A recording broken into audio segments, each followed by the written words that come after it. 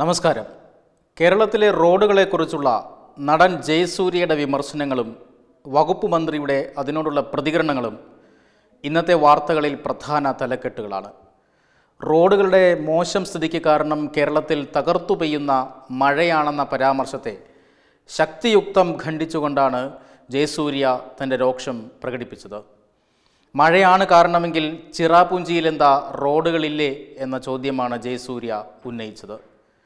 വിമർശനം നല്ല അർത്ഥത്തിൽ ഉൾക്കൊള്ളുന്നുവെന്നും പരിഹാരത്തിനായി ശ്രമിക്കുമെന്നുമാണ് മന്ത്രിയുടെ മറുപടി. മാറി മാറി വരുന്ന സർക്കാരുകൾ കേരളത്തിലെ റോഡ് വികസനത്തെ അവഗണിച്ചുവെങ്കിലും പിണറായി സർക്കാരിന്റെ കാലത്ത് സംസ്ഥാനത്തെ റോഡുകൾ അതിശോചനീയമായ അവസ്ഥയിലേക്ക് പോയെന്ന് പറയാതെ വയ്യ.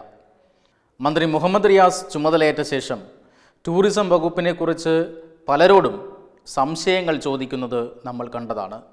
സംസ്ഥാനത്തെ ടൂറിസം വികസനത്തിന് പ്രധാന തടസ്സങ്ങൾ എന്താണ് അത് പരിഹരിക്കാനുള്ള നിർദ്ദേശങ്ങൾ എന്താണ് ഇതൊക്കെ ആരാഞ്ഞുകൊണ്ട് അദ്ദേഹം കേരളത്തിലെ പല പ്രമുഖരെയും സമീപിക്കുന്നത് നാം കണ്ടു.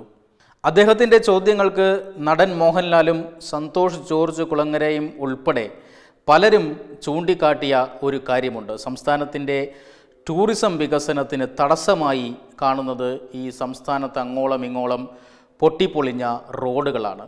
കേരളത്തിലുടനീളം സഞ്ചരിക്കാനുള്ള ബുദ്ധിമുട്ടുകളെക്കുറിച്ചാണ് എല്ലാവർക്കും പറയാനുണ്ടായിരുന്നത്. പൊതുമരാമത്ത് വകുപ്പിന്റെ ചുമതല കൂടി വഹിക്കുന്ന മന്ത്രി ഇത്തരം അഭിപ്രായങ്ങളുടെ മുന്നിൽ ചൂളിപ്പോകുന്നതും നാം കണ്ടതാണ്. റോഡുകളുടെ ശോചനീയാവസ്ഥയ്ക്ക് കാരണം അഴിമതിയും വികലമായ സർക്കാർ നയങ്ങളുമാണ്. എല്ലാ കാലാവസ്ഥയെയും അതിജീവിക്കുന്ന റോഡുകൾ നിർമ്മിക്കാൻ ഈ ആധുനിക കാലത്ത് നമുക്കെന്താണ് തടസ്സം?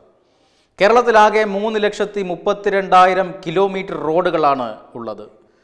ഇതിൽ എൺപത് ശതമാനത്തിലധികവും തദ്ദേശ സ്വയംഭരണ സ്ഥാപനങ്ങളാണ് പരിപാലിക്കുന്നത് എന്നതാണ് രസകരമായ വസ്തുത.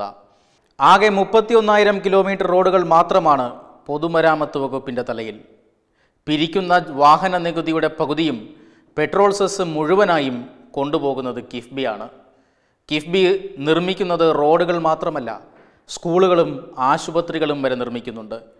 കൂടാതെ കൊള്ളപ്പലിശയ്ക്ക് കിഫ്ബി കടമെടുക്കുന്ന വായ്പയുടെ പലിശയും വീട്ടുന്നത് ഈ വാഹന നികുതിയും പെട്രോൾ സെസ്സും കൊണ്ടാണ്.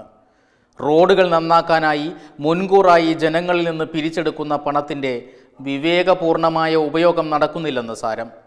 പക്ഷേ ജനപ്രതിനിധികളും കരാറുകാരും തമ്മിലുള്ള അവിശുദ്ധ കൂട്ടുകെട്ടുകളും അഴിമതിയും നിർമ്മിക്കപ്പെടുന്ന റോഡുകളുടെ നിലവാരം കുറയ്ക്കുന്നുണ്ട്. റോഡുകൾ കുത്തിയൊലിക്കുന്നതിന് കാരണം മഴ മാത്രമല്ലെന്ന സത്യം ജനങ്ങൾക്ക് നന്നായി അറിയാം. ജയസൂര്യയുടെ പ്രസ്താവനയിൽ നിഴലിക്കുന്നതും ഈ ബോധ്യമാണ്. ഇന്നും പ്രോജക്റ്റുകൾക്ക് അനുവദിക്കുന്ന തുകയുടെ അൻപത് ശതമാനം അഴിമതിക്കാർ കൊണ്ടുപോകുന്നു. ബാക്കി വരുന്ന അൻപത് ശതമാനം കൊണ്ടുണ്ടാക്കുന്ന റോഡുകൾ മഴയെ മഴയത്തൊഴുകിപ്പോയില്ലെങ്കിലേ അത്ഭുതമുള്ളൂ. ബഹുമാനപ്പെട്ട മന്ത്രി മാറ്റം വരേണ്ടത് ഇത്തരം കാര്യങ്ങളിലാണ്. റോഡുകൾ പരിപാലിക്കേണ്ട ഏജൻസികൾ ഏതൊക്കെയാണെന്ന് പുനർവിചിന്തനം അത്യാവശ്യമാണ്. തദ്ദേശ സ്ഥാപനങ്ങൾക്ക് റോഡ് പരിപാലനത്തിനായി ഗ്രാന്റുകൾ അനുവദിക്കണം. വാഹന നികുതിയും പെട്രോൾ സെസ്സും പരമാവധി റോഡ് നിർമ്മാണത്തിന് ഉപയോഗിക്കണം. സർവോപരി അഴിമതി അവസാനിപ്പിക്കാൻ സർക്കാർ ഇച്ഛാശക്തി കാണിക്കണം. രണ്ടായിരത്തി പതിനാല് മുതൽ കേന്ദ്ര സർക്കാർ നടപ്പിലാക്കുന്ന ദേശീയപാത വികസന നയം കേരള സർക്കാരും മാതൃകയാക്കണം.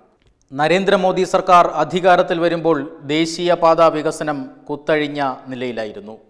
വലിയ നിക്ഷേപമാണ് കേന്ദ്ര സർക്കാർ ഈ മേഖലയിൽ നടത്തിയത്. കാരണം റോഡുകൾ രാജ്യത്തിന്റെ വികസനത്തിന്റെ ചാലക ശക്തിയാണ്. ഇന്ന് രാജ്യം പ്രതിദിനം നിർമ്മിക്കുന്നത് മുപ്പത്തിയെട്ട് കിലോമീറ്റർ റോഡാണ്. കേരളത്തിൽ ഇഴഞ്ഞു നീങ്ങുന്ന റോഡ് വികസനത്തിൽ ജനം രോക്ഷാകുലരാണ്. സർക്കാർ നയം മാറ്റിയേ മതിയാകൂ. Web desk Tatwamayi news.